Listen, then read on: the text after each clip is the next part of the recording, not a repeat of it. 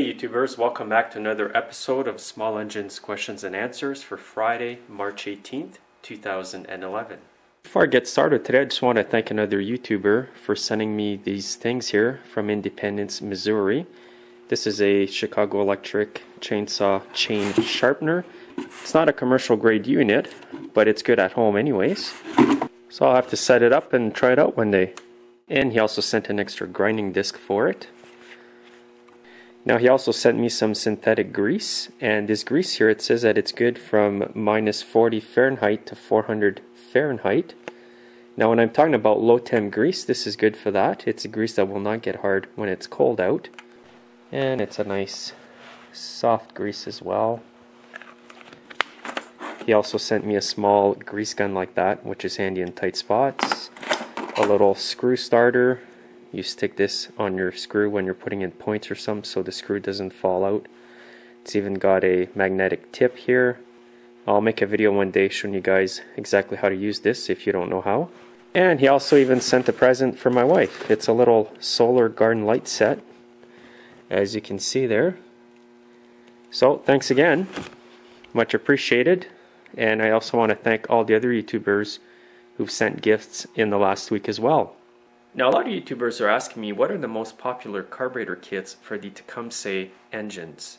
Well, here's some of the most popular kits that I use often.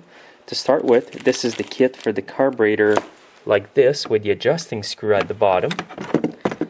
The number for this kit is 632-347, but you may want to make double sure that this is the right kit for your carburetor. So it'll come with the adjusting screw, the bowl nut, and everything like that, all the small O-rings, that go by the screws. So it's pretty well a complete rebuild kit. The second kit I use most often is 631-021B. And that comes with the gasket needle, the clip for the needle as well, which is down here, the gasket and the seat there. And this kit I would use mostly in the carburetors without the adjusting screw at the bottom. Another kit I use often is from the 3.5 to 7 horsepower Tecumseh engine. Kit number 31840. Now if you don't need the screw and the needles and all that in your carburetor, you can always get by with kit number 631021B because it's just a partial kit of these two kits here. It's a much cheaper kit. Sometimes that's all you need to replace.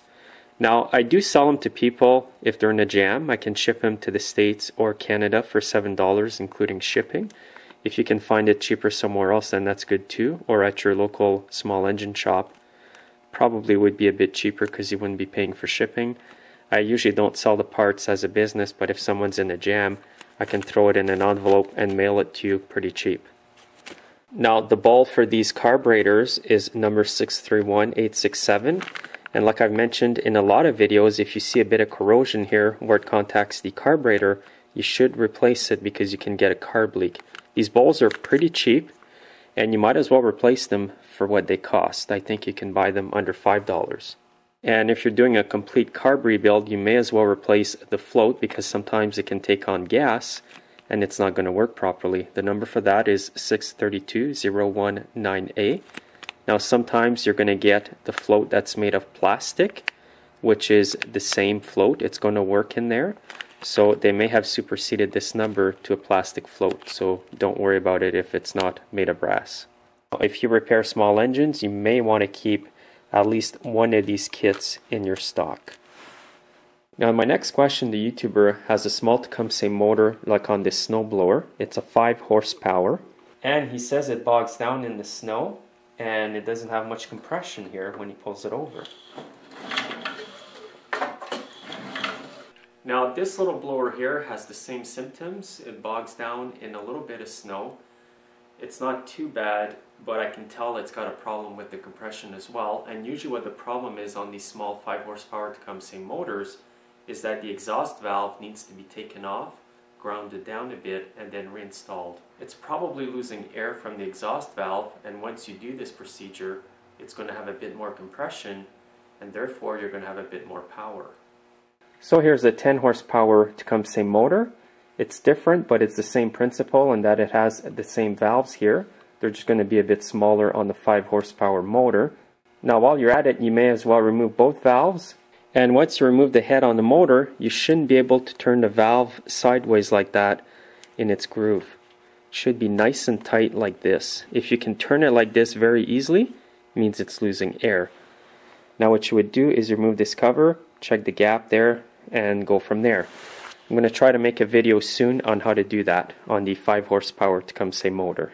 And usually I don't have to replace the rings, just by grinding down the valves and lapping them, it cures the problem. Now my last question today, YouTuber asked me, why do I use oil from my oiler can on the drive axles of snowblowers instead of lithium grease? Well, the reason for that is because the lithium grease is very expensive. Sometimes with the oil, what I find is that it spreads out really good and when I insert the wheel it doesn't push the grease in toward the snowblower. Now this is what I'm talking about, the drive axle that the wheel goes on to the blower. Now sometimes I use oil, put the wheel on and spin it so the oil gets everywhere. You can also use wheel bearing grease here. You can use lithium grease if you want, but the reason why I don't use the expensive grease is because the wheel is stationary on the shaft. Basically I just put grease or oil on the shaft to prevent rust and to prevent the wheel from seizing on the shaft. Once you've put your grease or your oil, just spin it so it saturates all the parts. Now, if it were parts that were rubbing against each other and turning all the time, then I probably would put a low temp grease or lithium grease. Lithium grease works good in the winter time as well. So as you can see, it becomes part of the shaft. And what happens is if you don't grease it properly or oil it, sometimes your wheel will be fused to the shaft when you go to remove it. So I don't use lithium grease because it's expensive, but I do use wheel bearing grease in there. Doesn't matter if it's low temp or not. And I do use oil from my oiler can. It's much cheaper that way. So that'll be it for this week. Thanks a lot for watching. Have a great weekend and we'll see you next Friday. Take care now.